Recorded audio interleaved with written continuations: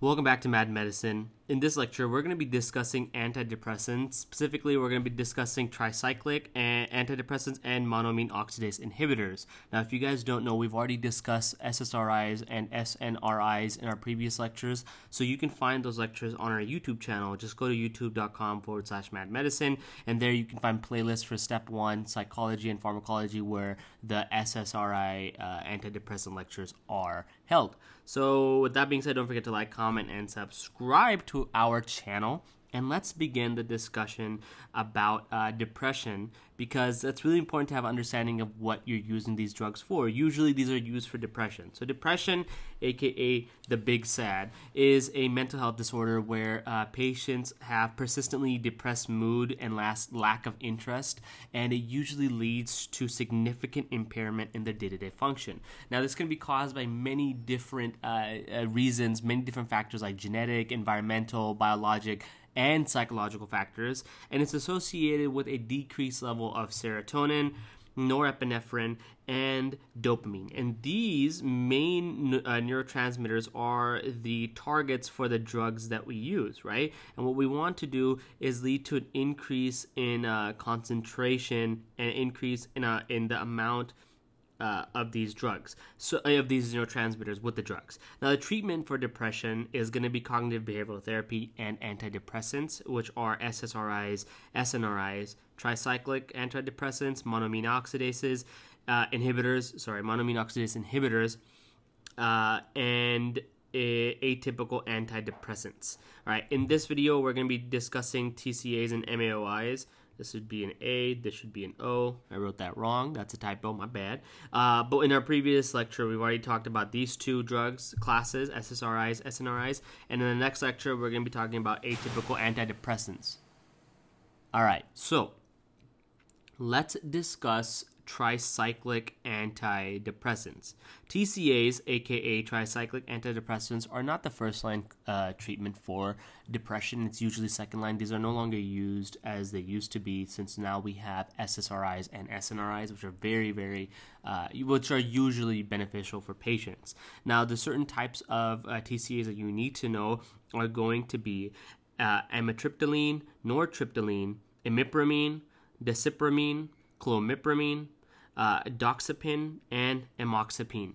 Now, you can definitely try to memorize these based off of the suffix, right? So, the triptyline, that always gave me a clue that this is a TCA, okay? So, let's just write this down. Triptyline, okay? Uh, the ipramine also, let's write the ipramine, and then the last two that never really conformed to this suffix rule was doxepin and amoxapine. Uh, I highly just recommend you guys memorize these because when it comes to psychiatry for step one, in my opinion, the two hardest things is going to be remembering the timeline of when uh, certain diseases occur for the diagnostic criteria, and we've been you know hammering that in for you guys so you guys remember it, and also uh, the names of the drugs in certain drug classes because a lot of times they overlap and it makes it difficult for you to remember oh is this a tricyclic? Is this an ssri etc etc so try to just sit down and memorize these drugs the best that you can so you don't get thrown off on uh, the questions you see. Now tricyclic antidepressants function very similar to snris because they inhibit the reuptake of uh, uh, serotonin, 5-hydroxytryptamine, and norepinephrine in the synapses, which leads to an increased amount of these nor, uh, these neurotransmitters in the synaptic cleft. Right, so this is going to be very similar to an SNRI. Very, very similar. Now, these are also used in many disorders like major depressive disorder, general anxiety disorder, peripheral neuropathy, chronic pain, migraine prophylaxis, and the two that you should know that you know can pop up is going to be OCD, especially clomipramine is used for OCD, and enuresis, aka bedwetting, which is uh, imipramine is used for that drug. So try to commit this to memory because if you see uh, a question with these two drugs talking about OCD or enuresis, you should know which drug to uh, choose respectively. Now, uh, when it comes to tricyclic antidepressants, the chemical structure is pretty important because it will tell you uh, what type of TCA it is, and also it'll also tell you what the main uh, effect it has on these drugs. So let's talk about the very first uh, um, chemical structure, which is going to be a secondary amine. Secondary amines have two nitrogenous attachments. So look at this secondary amine right here. This is a TCA. They're called tricyclic antidepressants because you have one, two, and three cyclical rings. All right. And then when you look at the last amine right here, it has one, two R groups attached to it, right? This makes it a secondary amine. Now, secondary amines are uh, relatively, uh, they have activating effects like norepinephrine like effects. And the reason why they have norepinephrine like effects is because secondary amines are relatively selective for norepinephrine rather than 5-HT. Okay, rather than uh, uh, uh, serotonin, they they favor more so norepinephrine. Then, after secondary amines, you have something called tertiary amines, which have three nitrogenous attachments. Okay, like this right here, you have this nitrogen group, and you have one, two, three R groups attached to it. So you have a tertiary amine, and these have more so sedating effects like antihistaminergic effects and uh, that's because they favor norepinephrine equally to serotonin so that is a key distinction distinction you should be aware of when it comes to TCA. Now, when it uh, comes to their side effects and overdosing, you need to know what happens. And uh, TCA side effects are very, very broad spectrum because they have multiple effects on the body. So the very first side effect that kind of happens with a lot of the antidepressants is going to be serotonin syndrome. This is a psychiatric emergency, keep that in mind, and this is usually due to an increased amount of serotonin that's happening, that's that's being left in the synaptic cleft or throughout the body, especially um, if someone presents with a carcinoid tumor and is also taking serotonin reuptake inhibitors or um, uh, TCAs, it can lead to serotonin syndrome. Now, other than serotonin syndrome, they have three other main side effects you should definitely know because uh, toxicity and overdosing on TCAs usually present uh, on those vignettes with these main side effects. So, the first uh, side effect is going to be the antihistamine effect, right? Especially with the tertiary amines. So tertiary amines mainly have this side effect, and the patient is going to present with sedation, weight gain, and confusion, especially in the early patients because they're more perce- they're more uh, uh, perceptive to confusion now, that's what you're going to see in the antihistamine effects. You're also going to see anticholinergic, aka antimuscarinic effects. Okay, so what's going to end up happening is they're going to have classic signs of antimuscarinic, uh, sorry, anticholinergic effects, which are going to be blurry vision, constipation, dry mouth, and urinary retention. And often, this is the kicker, okay? On step one, they're gonna give you these effects. So if they're complaining of constipation, dry mouth, and they can't pee, then definitely they're having anticholinergic effects, which should clue you more so into tricyclic antidepressants. And then finally, the last uh, side effect that you need to know is that they have alpha 1 blocking effects, which is going to present with orthostatic hypo- hypotension. So if someone is presenting with um, uh, blurry vision, constipation, they can't pee, and when they stand up, they become they fainted once or twice. You should think about TCA side effects. Now, when it comes to an overdose, right? Uh, TCAs can present with seizures. TCA overdose can present with seizures because they have GABA antagonistic effects. You'll also see the anticholinergic muscarinic effects that we've been talking about. Excuse me. You'll see those effects like uh, hyperthermia, flushing, miosis, and ileus. Ileus is just uh, lack of bowel movement. Uh, alpha 1 blockade effects will occur, and that can lead to hypotension, aka death. So we're gonna connect these two for you. You can have prolonged QT intervals, uh, which can lead to arrhythmias, and uh, they can. This is because TCS can block cardiac sodium channels, leading to the prolonged QT interval. And then finally, the treatment for a TCA overdose, and this is very important, so commit this to memory. The treatment is going to be sodium bicarbonate. Okay, sodium bicarbonate because the extra sodium is going to overcome the TCA cardiac blockade of the sodium channel. So if you're giving them sodium uh, bicarbonate, they're going to have an increased amount of sodium right? Which is going to be able to overwhelm the TCA in order to bind to the cardiac sodium channels and lead to normal cardiac activity. Now, an easy way to remember all of these, an easy way is with the acronym tricyclic.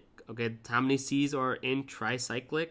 Uh, three C's. So three C's for the side effects are going to be convulsions, aka seizures, right? You're gonna have coma, aka the hypotension and the death, and then you're gonna have cardiotoxicity, the uh, the prolonged QT. So those are uh, the main side effects and overdosing uh, presentations you need to know for step one. It's very important you guys understand TCAs, especially their names and uh, which drugs are TCAs. And with that, we're going to move on and we're going to talk about monoamine oxidase inhibitors, MAOIs. Okay, so these are going to be drugs like uh, tran tranylcypromine. Sorry, I always mess this drug up. Uh, tranylcypromine, phenelzine, isocarboxazid, and selegiline or selegiline, however you pronounce that. This is a selective monoamine B inhibitor, and we're going to talk about that in a second. What that really means. Now, what monoamine oxidases do is that they inhibit the breakdown of monoamines. So what are monoamines? Those are the drugs, or sorry, those are the neurotransmitters that are most likely affected in depression. So serotonin, norepinephrine, and dopamine. Those are all classified as monoamines, okay? Uh, and we're going to talk about why they're called monoamines right now. So if you look at these uh, uh, uh drug profiles or the chemical structures of these drugs, right? You see you have one amine right here but it is a mono or a primary amine because this nitrogenous group uh, is only bound to one R group and then it's bound to two hydrogens, right? And that's across the board for all three uh, serotonin, norepinephrine, and dopamine. Now, when it comes to inhibiting the breakdown of monoamines, you're going to have an increased amount of monoamine levels in the synaptic cleft. So at the end of the day, the end uh, product is the same whether you're using SSRIs, SNRIs, monoamine oxidases, or tricyclic antidepressants. The difference is in uh, the rest of the antidepressant groups, you're going to have decrease in the reuptake. Okay, including in uh, tricyclic antidepressants, you're decreasing the reuptake of norepinephrine and uh, serotonin, and uh, in SSRIs, you're only re blocking the reuptake of SSRIs or serotonin. Sorry, but with monoamine, you're not blocking the reuptake; you're blocking the breakdown. You're inhibiting the uh, monoamine oxidase, which oxidizes these monoamines and uh, inactivates them. So these are used in many disorders also, but mainly now they're used for atypical uh, depression. They're used for anxiety as well as Parkinson's disease. And the selective drug you're going to use is selegiline or selegiline, however you pronounce that drug. I, I never get it right. I always get that one wrong. Anyways, um, and we're going to talk about that right now. So when it comes to monoamines, you have two types of monoamines, right? Uh, we talked about the TCAs. You have two types of tricyclic antidepressant drugs, right? The secondary and the tertiary amine groups. But when it comes to monoamines, the actual enzyme that breaks down uh, that breaks down serotonin, norepinephrine, and dopamine, you have two types. So the first type is monoamine A. This is going to break down dopamine, serotonin, and norepinephrine, right? This is the most uh, non selective uh, enzyme. It's going to cause a uh, decrease in all three of these neurotransmitters. And then you have monoamine B. Monoamine B is only going to break down dopamine. That's, that's the main reason why the main reason why we give selegiline, selegiline, which is a selective monoamine B inhibitor, to patients who have Parkinson's disease. Because patients in Parkinson's disease have low levels of dopamine and you want to increase their levels of dopamine. And the way you can do that is by giving selegiline which is a monoamine B inhibitor. And by inhibiting monoamine B you are inhibiting the breakdown of only dopamine leading to increased levels of dopamine in the synaptic cleft and that is why you need to know the difference between monoamine A and monoamine B. Now, this is very simple. You literally just need to memorize legiline or selegiline, whatever, uh, as monoamine B, and the rest of these drugs, uh, tranylcypromine, phenelzine, and isocarboxazid as monoamine A oxidase inhibitors. So, when it comes to monoamines, uh, one thing you need to be aware of is, some, is something called a hypertensive crisis. Now, this can occur with monoamine oxidase inhibitors more so than any other drug uh, that we're talking about that we've talked about as a antidepressant. The reason why uh, is because of the function of the drug itself. So before we talk about that, let's talk about what a hypertensive crisis is. Hypertensive crisis is uh, is classified as a significantly elevated blood pressure with a systolic pressure greater than or equal to 180 and a diastolic pressure greater than or equal to 120. So if your blood pressure is greater than or equal to 180 over 120 this is a hypertensive crisis, aka a hypertensive emergency, because you are uh, disposing this patient to higher blood pressures than they need to, and that can lead to several, several uh, negative effects. Now, the reason why this happens is simply because of the drug that you're using. Monoamine oxidases inhibit the breakdown of monoamines, right? Serotonin, norepinephrine, and dopamine in the in the the presynaptic neurons, which is going to lead an, lead to an increased level of these monoamines in the pre, in the synaptic cleft itself.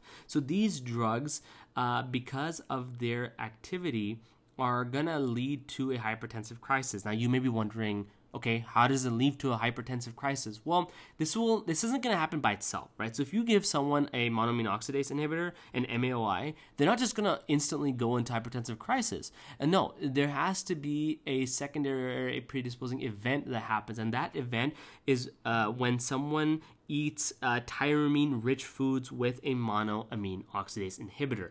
So these tyramine rich foods are going to be cheese, alcohol, cured meats, or chocolate, meaning all like the good stuff, right? Uh, so when someone is taking an MAOI and uh, they eat all these drugs or all these rich tyramine rich foods, they're going to end up going into hypertensive crisis. And the classic scenario is often going to be a middle aged man who presents to the clinic with difficulty breathing, a very, very uh, rapid heart rate. And when you take their blood pressure, you're going to see that they're in hypertensive crisis. And then you're going to ask them, hey, what happened? And the history, in the history, they're going to tell you, you know what, I was just eating um, a, a, burger, right? A, a cheeseburger, and uh, I was drinking some alcohol, and it led me to, you know, have a hypertensive crisis, have a headache, etc., etc. So, why does this happen with tyramine-rich foods, right? Well, it occurs because of the actual uh, neuro or the actual chemical structure of tyramine. Tyramine is a naturally occurring monoamine Look right here. You see this amine group? It's a it's attached to one R group, aka this is a monoamine, and it also has a cyclical ring structure, just like all the other uh, monoamines we've been talking about. So because that uh, tyramine is a naturally occurring monoamine, it can lead to sympathetic activation. Now, normally these rich foods that uh, contain tyramine are uh, metabolized in the GI tract, and the and tyramine itself gets uh, metabolized by monoamine. But because you are taking a monoamine inhibitor, because you're taking an MAOI, tyramine is not going to be metabolized. It's going to enter the bloodstream and it's going to lead to a, an increased uh, effect of uh, all of you know the same effect that you don't want to have. Pretty much what it's going to do is going to lead to increased sympathetic stimulation.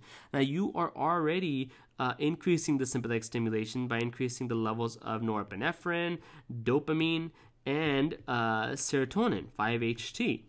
Now you're going to increase even more with increased tyramine, and in the end, that is going to lead to an increase uh, uh, blood pressure. Sorry, it's going to lead to an increased blood pressure. And the other thing you need to understand, and this is pretty important, is that tyramine is going to displace all the other neurotransmitters. So, pretty much what I want to write is tyramine is going to be more important. I'm going to make this greater than sign super thick than all other MA monoamines. Monoamines. Okay?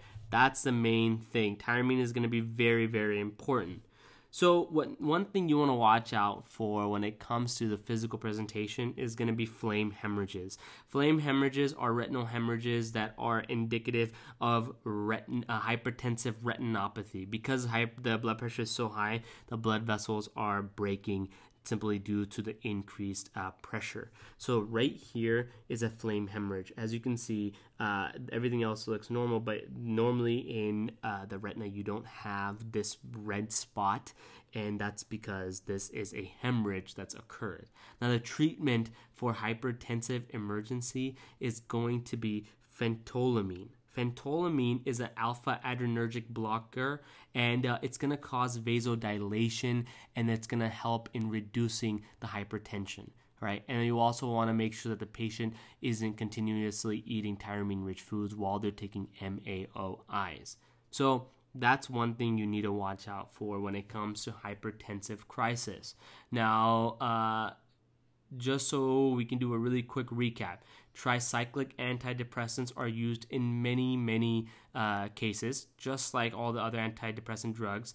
The ones you need to watch out for is clomipramine, which is used in OCD, and imipramine, which is used for uh, enuresis. Now, TCAs are going to function very similar to uh, they're functioning very similar to SNRIs and in TCAs you have secondary amines which have two nitrogenous uh, attachments secondary amines are going to be more selective for norepinephrine tertiary amines are going to be equally selective for norepinephrine and serotonin but they're going to have sedating effects when it comes to TCAs, the side effects you need to watch out for are going to be antihistaminergic effects like sedation and confusion in the elderly, anticholinergic effects like blurred vision, constipation, dry mouth. This is very important because step one often presents with someone taking a TCA and having uh, anticholinergic effects, and also alpha 1 blocking effects like orthostatic, orthostatic hypotension. And when it comes to overdose, you want to watch out for the, the three C's for TCA convulsions, aka seizures, coma due to the hypotension, and cardiotoxicity, aka the QT interval uh, blocking uh, due to the sodium channel blockade in the the cardiac uh, myocytes. Now, you definitely want to treat TCA overdose with sodium bicarbonate. Monoamine oxidases are different than the rest of these groups. Monoamine oxidases are going to present with, uh, they're going to function, sorry, they're going to function by breaking, inhibiting the breakdown of these three these three monoamines, norepinephrine, uh, serotonin, and dopamine. And you have two types of monoamines. You have monoamine A, which breaks down dopamine and serotonin and norepinephrine, and uh, you have monoamine B, which only breaks down dopamine. And the only drug that that prevents monoamine B is selegiline, which is a monoamine B inhibitor. Because it breaks down, it, it prevents monoamine B. Uh, it prevents the breakdown of, of dopamine, and it can be used to treat patients who have Parkinson's disease. And uh, one thing you need to watch out for in monoamines is hypertensive crisis, which occurs when someone eats tyramine rich foods with their monoamine medication.